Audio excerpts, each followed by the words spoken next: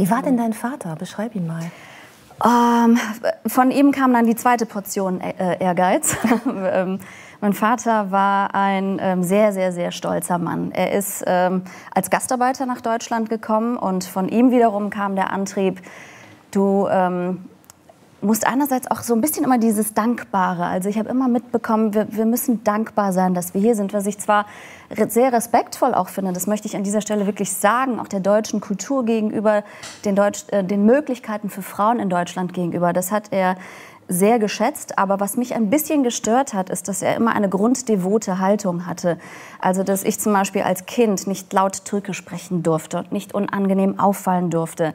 Und dieses nicht unangenehm auffallen dürfen hat mich sehr, sehr lange geprägt. Und dann stehst du irgendwann auf großen deutschen Bühnen und sollst nicht unangenehm auffallen. Oh. Ich habe tatsächlich gemerkt, dass in meinem Beruf manche Blockaden ich sehr spät überhaupt realisiert habe und dann auch geschnallt habe, wo die Ursachen liegen.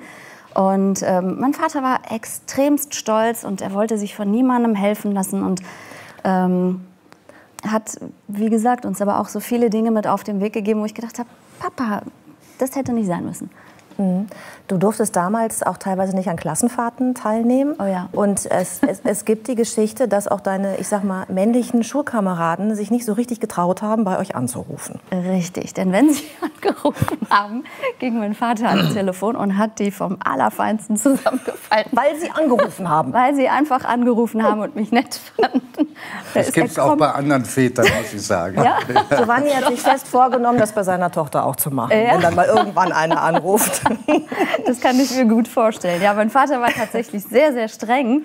Aber auch, und deswegen habe ich ihn natürlich gleichzeitig, also es war so eine Hassliebe, er war aber auch sehr, sehr liebevoll. Also er hat uns äh, die Haare geföhnt, er hat äh, Bettchen für meine Barbiepuppen gebastelt, er hat uns ähm, ähm, Klamotten genäht, also all diese Dinge. Er war sehr, sehr liebevoll, aber wehe, da kam ein Junge in unsere Nähe, das ist mhm. dann, er hat es bereut.